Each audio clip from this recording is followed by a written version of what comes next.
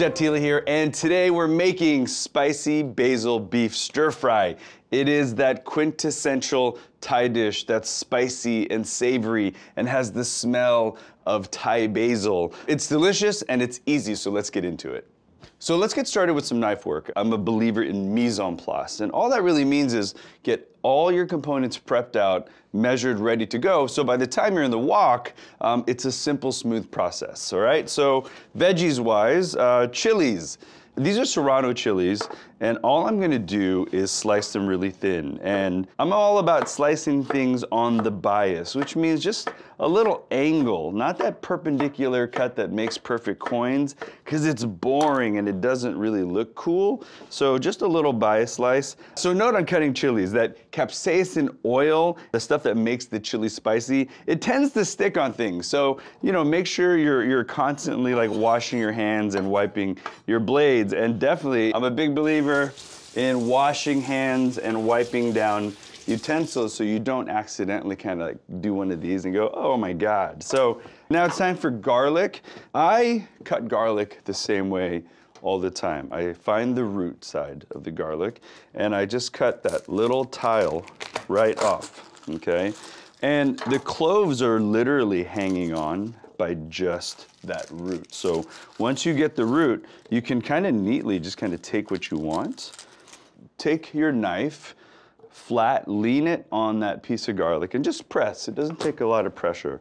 My workflow in the kitchen is doing the same thing in an assembly line over and over. So I won't like smash and then peel each clove. I'll smash and then I'll come through and peel because it makes you a lot more efficient in the kitchen. And you know, getting better at cooking is all about repetition. So if you kind of start to get into habits of doing things a certain way, you get a lot faster. So this way now, all I'm doing is peeling. This is also a good technique where you could just take all these garlic cloves and stick them in a zippy bag or in a container, and, and they're kind of there for you anytime you need it. I only need four for this recipe but you can always feel free to get ahead.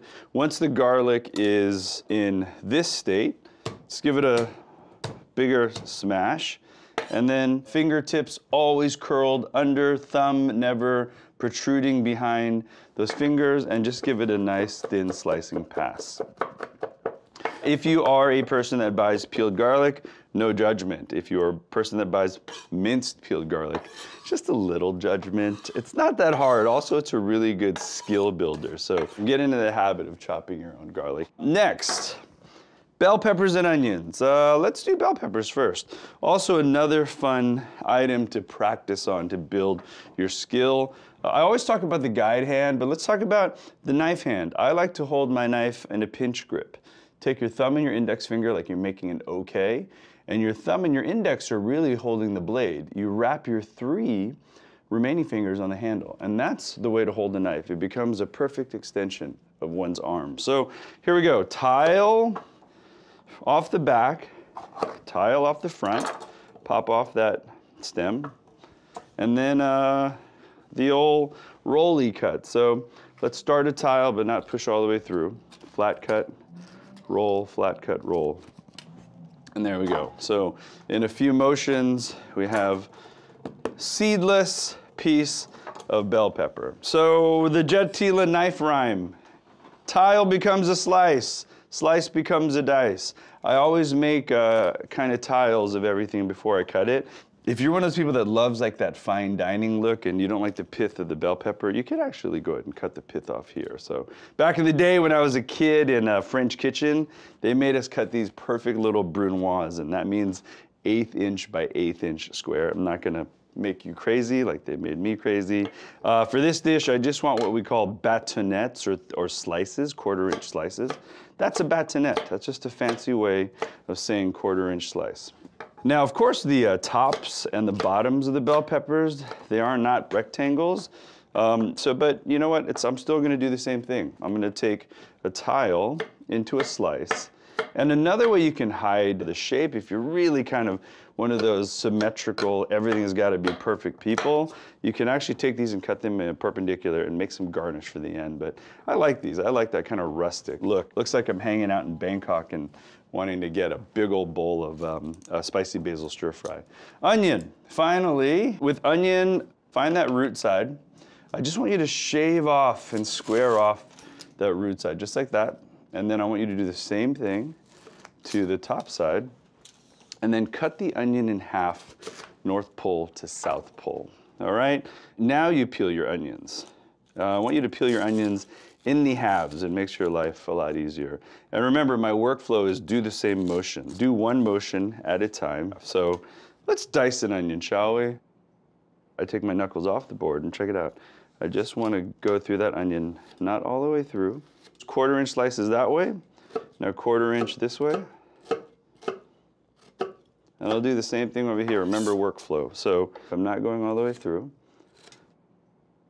now I'm gonna go this way. And I'm using the root side of the onion to keep it all together. And then finally, quarter inch. So if you go quarter inch, quarter inch, quarter inch, you get these perfect dices every time. Uh, yeah, you know, it looks hard, but seriously, with a little bit of practice, knife work is one of my kind of the most rewarding things. It's a lot of fun to cut things and really kind of work on cutting things well. So that's my mise en place. Uh, I've got Thai basil here, but I'm just gonna literally pick the leaves right off the stem because I think there's more flavor that way. And there it is, my mise en place is done. I'm a huge believer in not dirtying the kitchen and pulling a thousand bowls. I like big cutting boards or big plates and just kind of mise en place your stuff close to the wok so I can make that really quick transition. Uh, let's make some sauce, shall we? This is a phenomenal dish for Thai cooking because it's teaching you all your critical must-haves in your Thai pantry. Let's start with this one. This chili paste is packed in soybean oil. All it is, friends, is roasted shallots and garlic and roasted shrimp smashed into a paste. It has very little spice, has very little chili. So it's basically um, sweet, umami savoriness. It is a phenomenal sauce. And, and don't let the word chili scare you. It's not very spicy at all. It's completely savory and has a delicious flavor. You could put it on toast and make shrimp toast with it, right? If you minced up some shrimp, really simple. Uh, oyster sauce. Oyster sauce is the most commonly used sauce in the Chinese stir fry kitchen. It's not soy sauce. This sauce has, again, every flavor you want in it. The savoriness, the saltiness. You know how you eat um, stir-fried vegetables like bok choy or Chinese broccoli from the Chinese restaurant, they're using oyster sauce. They're not using soy sauce, believe it or not. For Thailand sake, for the saltiness, we're using fish sauce. And fish sauce should always be amber in color in a fresh bottle. See how it's slightly translucent and brown and amber? That's a fresh bottle of fish sauce. Once it starts to oxidize and turns opaque, that's when it's time to get rid of it and find a new bottle. It's like two bucks. You can buy a new bottle. So you know that bottle that's been in your fridge for a year? Let's just get rid of it and start over, okay? Um, sweet soy sauce, watch the pour. That is not just soy sauce. That is about 70% molasses, about 30% soy sauce. So it is sweet, way more than it's salty. Because of its viscosity, it is a phenomenal sauce to create like a nice thick glaze without making food too salty. Now you're like, yo, Jet, I like shrimp basil or I like chicken basil. Um, I like tofu basil. That's all good. The technique is exactly the same. So the only thing you're gonna change is your protein. All right, so before we actually cook up the beef, my favorite way to eat this dish is with a fried egg on top of it. So let me show you how to do a uh, Thai-style basted egg. All right, so let's get that wok hot. This is kind of that foamy, bubbly egg on the outside that with the runny yolk. This is how we do it in the Thai kitchen.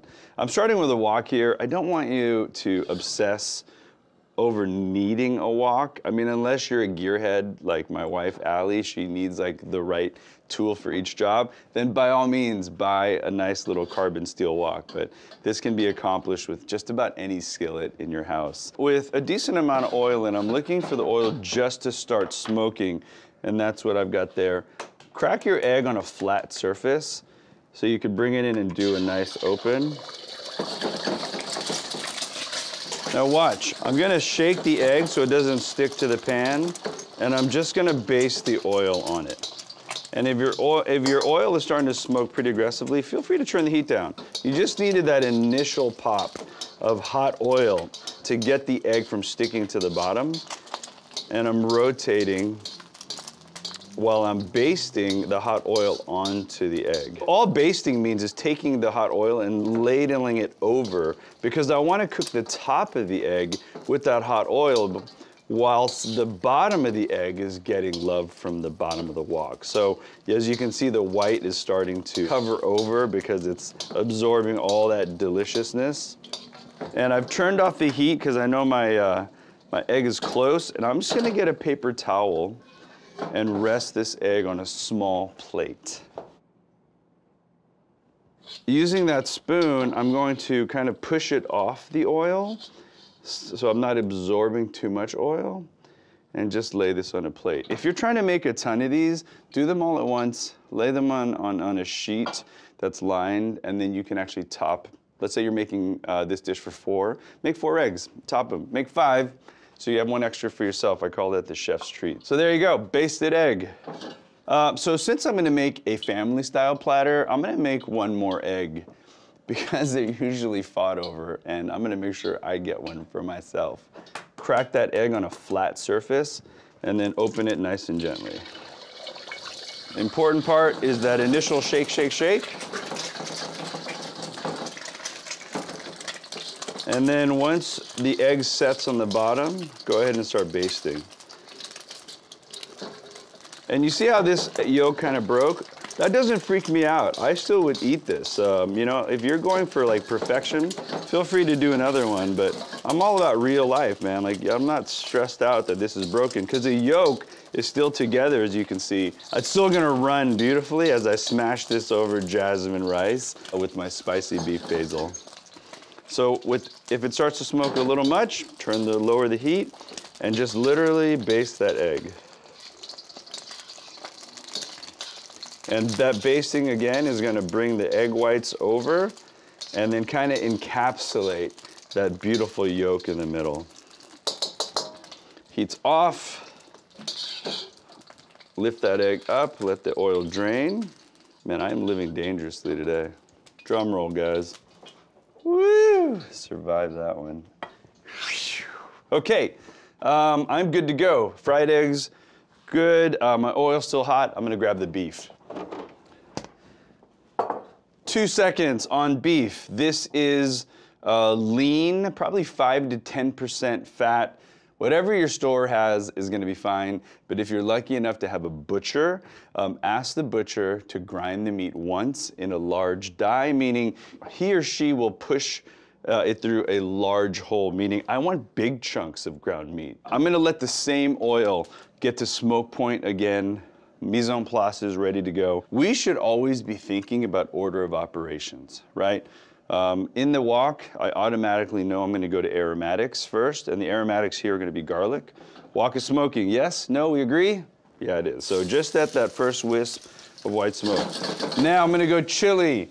Warn your family that chili in the wok could get uh, a little, um, how shall we say, the vapors uh, are going to uh, kind of get to those that are sensitive. So uh, if you know what I mean, if you're in an enclosed small kitchen, open a window, turn on your fan, fry that up. Now, I want this pan screaming at this point because I'm gonna put the beef in. So what I'm gonna do now uh, is put the beef in. Now the beef is coming out of the refrigerator, right? So we know it's like 40 degrees. It's gonna cool down this pan quite a bit. So what I want you to do is use the surface area of the wok. Really, flatten out your protein. Turn over and just make one nice thin layer so you can get as much beef as possible uh, sticking to that really screaming hot pan. And just leave it alone for a second because I really want to take advantage of uh, searing this beef up. This is great beef, by the way. Uh, look at the color. It's beautiful, dark, rich red. There are no gray spots to it, um, and it's not leaching a lot of moisture. Uh, this is a really great quality beef. All right, so you turn it over again, and again, use the surface area of the wok. I want to cook this about halfway, meaning I want the exterior to be seared brown, um, but not overcooked because I want some moisture in there. Now, I've got bells and onions. I do want to put my onions in now. So as you can see, uh, this beef has uh, a little bit of residual liquid in there. And all that is, family, is uh, water that's in the actual beef, which is totally normal. So I'm gonna just drain that off. Perfect. All right, liquid drained off. I'll get rid of that. Now it's time for the bell peppers. And if you are a chili head, feel free to sub out serranos for Thai chilies. And now I'm gonna do uh, the sauce. Make sure to give it a stir to get all those components together. And what really makes Thai basil beef pop is the basil. I'm using Thai basil. Smells like uh, black licorice or anise. And I'm just kind of roughly tearing the leaves. I'm not really being very ginger with it because I like the stems. I want them to kind of sear up in the wok. And I'm gonna do my final toss. And I just want to wilt these leaves. I want all of those flavors to come together. Those residual sugars that were in that sweet soy, they're gonna caramelize.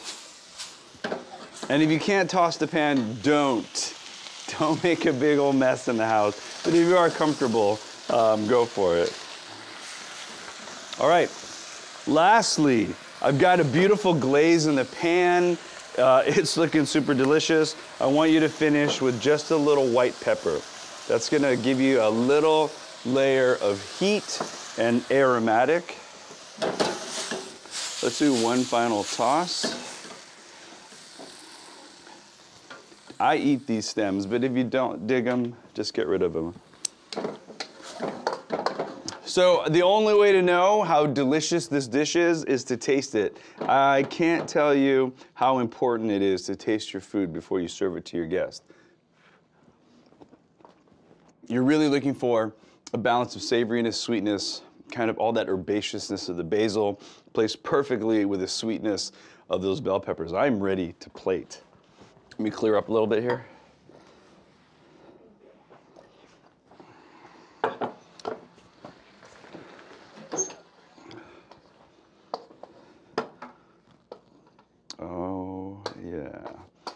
You have no idea how excited the entire crew is every time we get to this stage. Uh, so remember, I made spicy basil beef, but there's no reason it can't be any of your favorite proteins, including uh, tofu. So one egg, two eggs. I wouldn't mind giving that a little hit of pepper.